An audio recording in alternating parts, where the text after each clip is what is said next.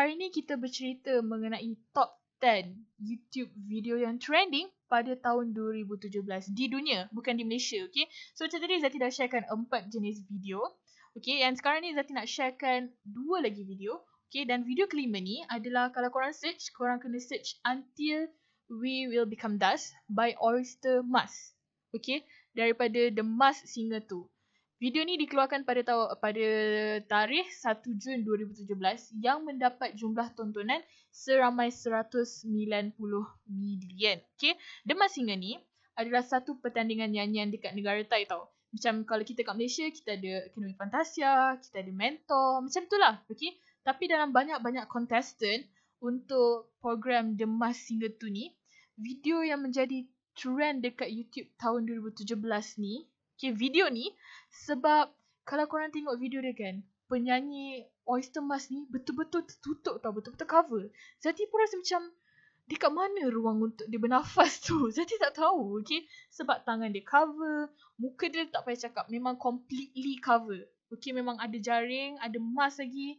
So memang tak tahu, rambut dia pun tak nampak. Okay. And selain daripada outfit dia yang korang kena check out, korang kena tengok juga part dia rap.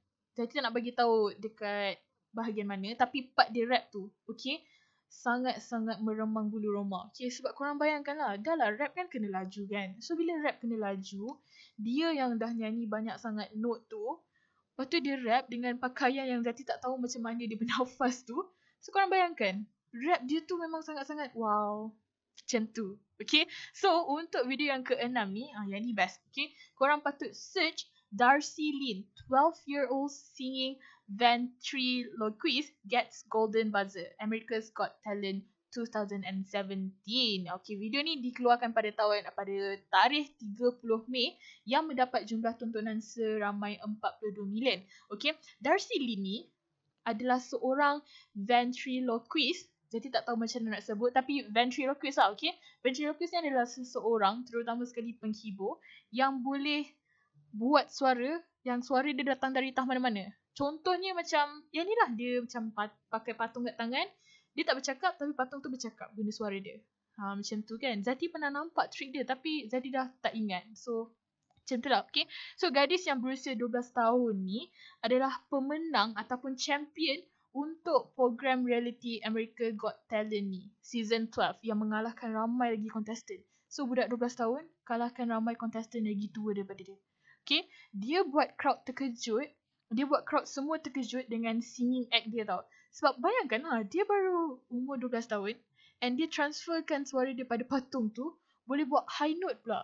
Aduh, kalau korang tengok kan, korang akan rasa macam, Eh, betul ke budak ni 12 tahun kan? Kecil je budak ni. Enam video yang jadi trending dan yang semestinya korang patut tengok sebab dia memang sangat-sangat berbala untuk tengok. Okay, so untuk yang video yang ketujuh ni, okay, uh, adalah satu video daripada Lady Gaga yang membuat persembahan masa halftime Super Bowl NFL. Okay, so video ni dikeluarkan pada 5 Februari 2017 dan mendapat jumlah tontonan seramai 37 million. Okay, million. Okay, so Pop Queen Super Bowl halftime performance ni gaya kalau kita sebut Lady Gaga memang dia punya gaya fashion memang tak perlu nak cakap lah kan. Memang gaya dia macam gitu. Tapi, okay, video ni ditonton seramai 3.8 masa hari video ni diupload. Contohnya diupload, uh, kan dia diupload pada 5 Februari kan. So 5 Februari tu sendiri dah mendapat 3.8 million jumlah tontonan. Okay, mengikut sumber daripada YouTube. Dan apa yang korang patut tengok dekat dalam video ni adalah dia punya pertukaran stage ke stage. Sebab kan dia macam ni tau. Dia satu lagu, stage lain, prop lain. Macam tu, okay. Actually dia berapa banyak, berapa, dua, tiga stage dekat situ. Tapi ruang untuk stage tu. Nak pergi ke satu tempat ke satu tempat mengikut pertukaran lagu. Yang tu yang memang korang patut tengok. Sebab kalau Zati sendiri yang tengok dan kalau Zati sendiri yang buat, boleh jadi semput tau. Ni kan pula dia. Sebab korang tahulah kan lagu Lady Gaga macam mana. Ada yang slow, ada yang macam kena menari-nari, ada yang macam uh, macam tu lah. So dari stage ke stage tu dia maintain kan dia punya nyanyian tu tanpa ada rasa semput langsung. Okay, tu memang betul-betul macam wow lah. So korang kena tengok lah, okay.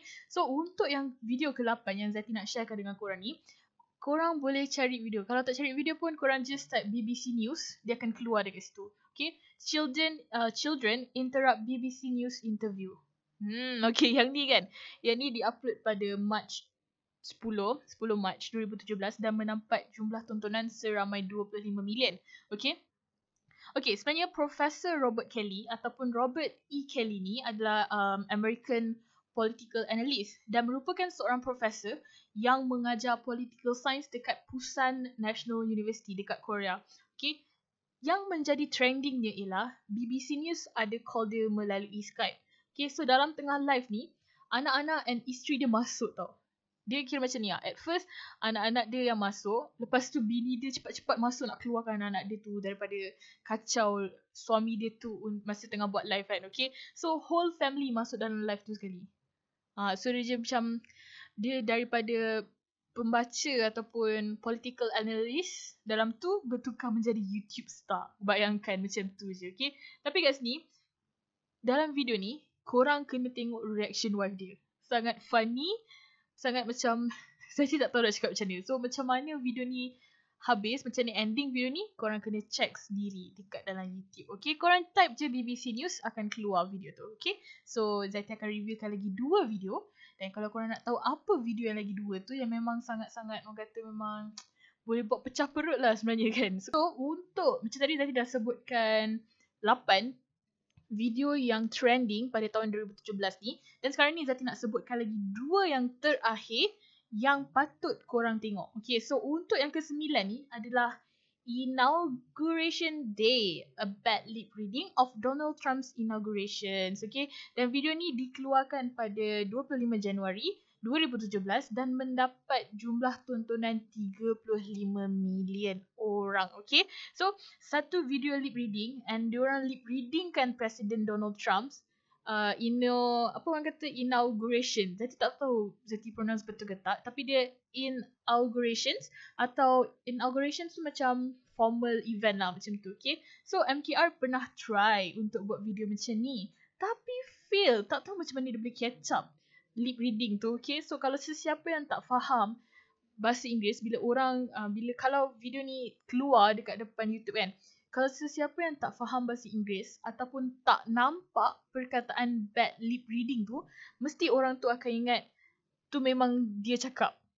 So nampak sangat-sangat macam, uish, dia cakap macam ni ke? Uish, dia memang macam ni lah. Ha, macam tu kan, okay? So memang boleh buat korang ketawa gila. Yang menyebabkan macam, tak rugilah kalau korang tengok. Kalau korang ada bad day, korang boleh tengok benda ni. Sebab betul-betul rasa macam, Zati rasa orang yang buat video ni, tak suka Donald Trump kot. kot lah kan, okay. So, bad lip reading ni memang satu, orang kata satu lip reading yang berjaya lah. Ha, macam tu, okay. So, untuk vi- uh, video yang terakhir ni, adalah video in a heartbeat. Okay, video in a heartbeat ni sebenarnya adalah animated short film yang diriliskan video dia pada 31 Julai 2017, 2017 baru-baru ini dan mendapat jumlah tontonan seramai 32 million viewers. Okay. So video yang berduration 4 minit ni diproducekan oleh Biff David dan juga Esteban Bravo di Ringling College at Art and Design. Okay.